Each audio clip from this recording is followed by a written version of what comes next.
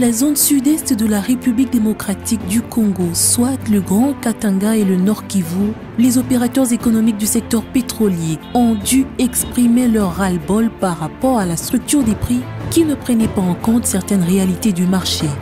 Loin d'être un bras de fer, ces hommes d'affaires se sont inscrits dans une démarche légale et ont opté de faire entendre davantage leur voix. Il n'y avait pas de hache de guerre en intérêt. Que pour nous, il n'y avait pas de guerre. Il n'y avait qu'une revendication à nos préoccupations qui s'est faite dans un cadre tout à fait légal. L'article 39 de la Constitution est clair.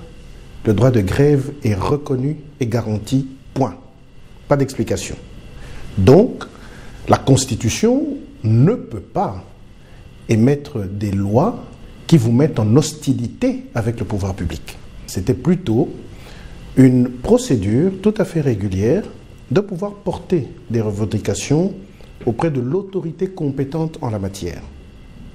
C'est ainsi que lorsque les négociations, les discussions, l'échange, ou qu'il y ait un déficit de communication, qu'on estime que tout cela a été fait et que nous n'en arrivons pas à nous faire entendre, l'État nous donne ce moyen de pouvoir nous exprimer pour accélérer l'aboutissement d'un malentendu éventuel qui pourrait se créer.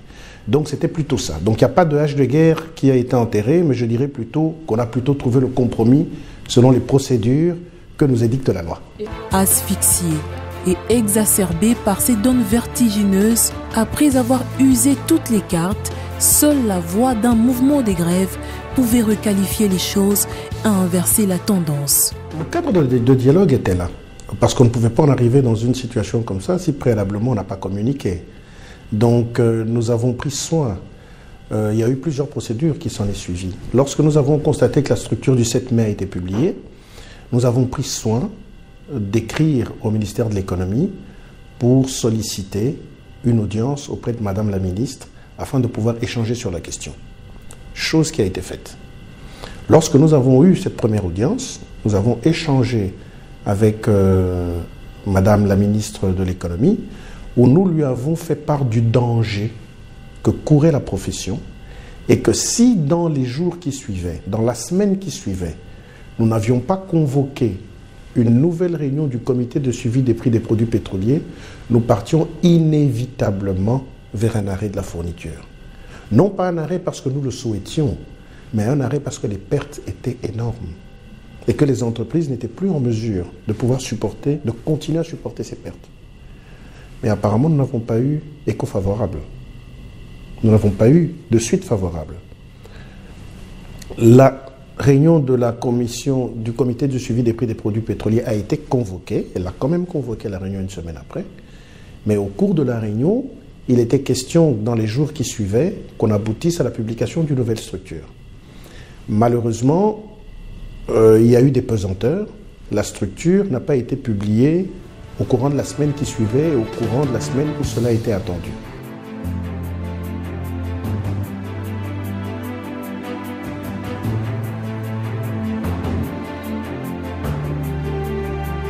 il y a eu deux autres réunions qui sont, sont suivies. Comme vous le savez, nous sommes en période de pandémie. Il n'y a pas de vols commerciaux, ce qui fait que les deux réunions qui nous ont amenés à Kinshasa ont été faites, mais nous avons dû affréter des avions. Et vous savez ce que coûte le coût d'un affrètement? Nous nous sommes déplacés par deux fois. On ne pouvait pas, de manière permanente, faire des affrètements pour venir. Il était question de prendre en compte également cet élément pendant la période de pandémie pour pouvoir accélérer rapidement la mise sur pied de la nouvelle structure. Mais les échos qui nous sont parvenus, c'est que lors de la dernière réunion, à laquelle nous, nous n'avions pas participé, mais nous avions un délégué, il nous a fait écho que toutes nos revendications n'avaient pas été prises en compte. C'est à cette occasion que nous avons dû faire une lettre de préavis de grève adressée à Madame le ministre. 30 juillet, pour que la grève entre en exécution le 6 août. Donc on avait quasiment une semaine. Nous n'avons eu aucune réponse du ministère de l'économie. Qu'est-ce que nous pouvions faire à la date? Du 6 juillet Ce n'était que d'exécuter le préavis qui avait été fait. Ne pas avoir de réponse, c'est-à-dire qu'on a consenti à la démarche. Et c'est ainsi que le 6 août, nous avons dû entrer en grève qui, comme vous l'avez constaté, a été levé hier. Le mot d'ordre est donné au seul motif d'obtenir gain de cause. Après plusieurs réunions et concertations au sein de la Fédération des entreprises du Congo section Okatanga avec les opérateurs du secteur pétrolier concernés, le mouvement est donc lancé et la paralysie en distribution de barils est presque une évidence durant cinq bonnes journées avec une incidence sur le cours normal de la vie de la population de certaines grandes villes du sud-est de la RDC. L'alerte est lancée du côté du gouvernement. Il fallait à tout prix bouger les lignes. La sagesse recommande alors le dialogue. Une forte délégation composée des opérateurs économiques accompagnés des présidents respectifs de leur patronat provincial ainsi que des ministres provinciaux regagne la capitale de la RDC. Une première approche est alors faite. La délégation vient répondre à l'appel du Premier ministre et se met autour d'une table pour lever l'équivoque à ce premier échange. Un espoir se dégage et le chef du gouvernement Sylvestre Ilunkamba promet son implication. D'emblée, il nous a rassuré qu'il était heureux et il félicitait que les Congolais se soient investis dans ce secteur stratégique dans la distribution de produits pétroliers. Deuxièmement, qu'il comprenait les revendications d'équité et de justice dans l'établissement des termes de la structure de prix entre toutes les zones du pays. Et troisièmement, la réunion d'aujourd'hui devait être mise sous le signe de l'ouverture et du dialogue franc et sincère sans arrière-pensée. Et effectivement, dans la conduite de la discussion, nous avons compris et été rassurés de la part du Premier ministre lui-même et des deux membres du gouvernement qui l'accompagnaient qu'ils étaient ouverts. Et nous avons cru comprendre que on ne repartira pas au Katanga et au Nord Kivu sans la bonne solution, qui est de rétablir la justice et l'équité. Plusieurs autres réunions s'en suivront en vue de trouver une solution dans un bref délai. Des concertations avec le Premier ministre ainsi que des ministres sectoriels sont initiées. Toutes ces négociations entre le gouvernement congolais et les pétroliers ont abouti à un compromis en tenant compte des intérêts de la population celui de l'État et celui des opérateurs économiques. Les pétroliers de la zone sud-est ont alors décidé de lever la grève. On ne peut pas tout avoir. J'estime qu'il y a eu des avancées, des avancées importantes, et que nous avons pu obtenir quelques paliers à nos préoccupations. Pour vous donner des précisions, nous avons obtenu par exemple la hausse des charges d'exploitation qui faisait partie de nos revendications. Les charges d'exploitation, nous avons deux types de charges d'exploitation dans la structure des prix. La structure des prix, c'est le, le, document, si vous voulez, qui est signé par le ministère de l'économie, qui resynthétise tous les éléments qui concourent à la fixation du prix à la pompe.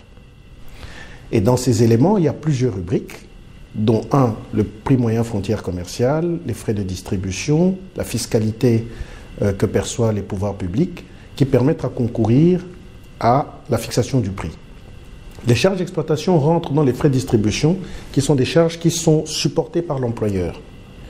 Et par la catégorie euh, de, pétroliers, il y a des stockeurs, il y a des commerciaux, et nous avons cette catégorie, euh, que ce soit à l'ouest ou au sud, nous avons souhaité obtenir une revue, qu'on revoie les charges de ces sociétés, de ces catégories de sociétés à la hausse, parce qu'elles étaient préfixées par l'État, on ne sait pas pourquoi, et ces charges ne permettaient pas à pouvoir couvrir réellement les charges d'exploitation de ces entreprises pour faire face évidemment au prix de vente afin de pouvoir renouveler leur stock. Cela faisait partie des revendications. Nous avions souhaité un certain niveau. Ce que nous voulions, c'était que ces charges d'exploitation remontent au même niveau que les charges d'exploitation des pétroliers de la partie ouest. Mais nous n'en sommes pas arrivés là-bas. C'est-à-dire qu'il y a eu quand même des avancées notables, importantes. Nous n'en sommes pas arrivés à ce niveau des charges d'exploitation, mais il y a quand même une évolution positive. Donc j'estime que ce sont des concessions tout à fait normales pour que le prix ne monte pas non plus sensiblement à la pompe, il fallait partir par palier. C'est ainsi que nous avons commencé avec le premier palier. Nous verrons lors des prochaines discussions comment cela peut être intégré afin que les différents paliers puisse évoluer jusqu'à avoir un niveau de charge satisfaisant pour les entreprises de la partie sud. Ces concessions trouvées entre les deux parties par rapport aux éléments prépondérants de la structure des prix des produits pétroliers concernés entre autres des prix moyens frontières commerciales, du volume consommé et le taux d'échange. Même si la procédure des mises en application se fera graduellement, pour les opérateurs économiques, c'est déjà un acquis considérable. Il y a un deuxième élément qui euh, n'a pas pu être pris en compte, c'est le taux le taux de change qui a été adopté a été un taux de change de compromis. Parce que le taux de change qui devrait être pris en compte dans la structure des prix, nous, nous avions souhaité que ce soit le taux de change par lequel les entreprises peuvent acquérir des devises dans le secteur bancaire. Or, le taux de change qui a été arrêté dans la structure des prix est un taux de change qui ne nous permet pas d'acquérir des devises dans le secteur bancaire au taux du marché actuel. Donc il fallait faire ces concessions. Mais vous allez vous poser la question, oui, mais ça n'a pas réglé le problème parce que vous allez faire des pertes sur le taux de change. Nous avons enfin également pu obtenir la certification des pertes qui sont euh, occasionnées par le fait de figer des éléments comme le taux de change ou le PMF. Donc le fait de figer le taux de change permettra de calculer les manques à gagner éventuels avec l'écart qui se créerait sur le marché lorsque il y aurait euh, une perte de la valeur de la monnaie.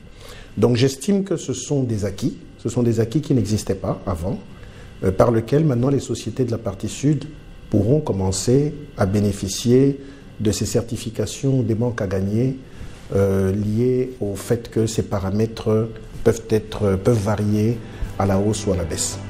Ces négociations ont réussi à diluer la pilule qui était difficile à avaler. Les parties se sont félicitées de l'esprit d'ouverture qui a caractérisé les échanges autour d'un repas organisé par le ministre d'État, ministre des Hydrocarbures, en vue de maintenir cet esprit de dialogue. Certes, les revendications d'équité et de justice dans l'établissement des structures des prix entre toutes les zones du pays ont été prises en compte, mais il reste encore beaucoup à faire dans le secteur. Les pétroliers plaident pour une régulation. Que je parlerai plutôt de la partie sud dans laquelle nous évoluons. Le pays est très grand. Le pays a 2 345 000 km. Nous avons quatre zones d'approvisionnement. Nous avons la zone ouest, la zone sud, la zone est, la zone nord. Et chacune de ces parties du pays a sa particularité. Ne perdons pas de vue qu'une province comme le Katanga, rien que le Katanga, l'ex-Katanga, a la superficie de la France. Et vous savez que la France est quand même l'un des pays les mieux organisés et économiquement parmi les plus avancés au monde. Donc c'est pour dire la complexité qu'il y a par rapport à chaque zone.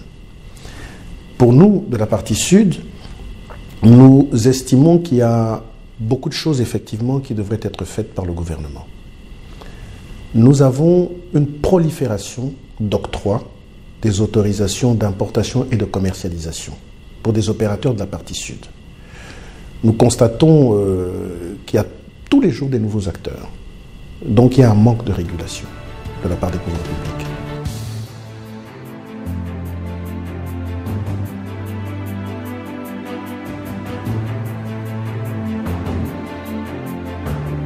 Le secteur pétrolier est un secteur hautement stratégique, comme vous l'avez constaté, et qu'il faut savoir protéger les investisseurs locaux. On a beaucoup de personnes qui viennent de l'extérieur, nous ne refusons pas, parce que nous ne pouvons pas être un pays fermé, mais il faut de la régulation dans chaque activité économique. Est-ce que c'est le moment de continuer à octroyer des licences? Faudrait-il momentanément contingenter pour permettre à ceux qui travaillent de ne pas être saturés à ceux qui travaillent de ne pas être euh, euh, envahis, parce qu'il faudrait que l'État, de par son rôle, permette à des entreprises de pouvoir être performantes. Si vous êtes dans un secteur d'activité où vous avez, c'est un exemple que je vous donne chiffré, 10 entreprises qui couvrent aisément le marché, pourquoi l'emmener à 100 Vous déstructurez le marché intérieur. Donc c'est de la régulation économique. C'est-à-dire que les portes ne sont pas fermées, mais nous demandons à l'État de faire de la régulation pour permettre à ces entreprises qui couvre les besoins du marché. Il n'y a pas besoin, en fait, c'est comme si vous avez dans une circonscription l'État qui a 10 écoles qui couvrent aisément les besoins, devra-t-elle en mettre 30 dans cette circonscription? Non. elle devrait canaliser ses besoins vers d'autres problèmes sociaux. Donc c'est pour vous donner à peu près un exemple de, régulation par rapport à cela. Ça c'est une chose. Donc euh, secondo, il faut encore mieux la réguler parce que la zone ouest fonctionne avec des importateurs et des fournisseurs. La zone sud, il y a un certain chevauchement entre les fournisseurs et les importateurs. Donc il faudrait voir dans quelle mesure il faudrait que quiconque importe, importe avec un contrat de fourniture. Mais nous avons beaucoup de personnes qui importent sans contrat de fourniture, uniquement avec des autorisations d'importation. Donc il faut une grande réflexion euh, dans le secteur que nous attendons de l'État pour permettre de fortement réguler et de, de, de non seulement de réguler, mais d'encadrer le secteur pétrolier pour le rendre efficient. Et je pense que ces problèmes de la partie sud ne manquent pas dans les autres zones d'approvisionnement du pays. Rassurés, les malentendus est passé, le compromis trouvé, les opérateurs économiques du secteur pétrolier sont rentrés dans leur province avec une nouvelle structure des prix qui prendra en compte, si pas tous, mais au moins quelques paramètres qui régulent les secteurs en tenant compte de l'environnement actuel de l'économie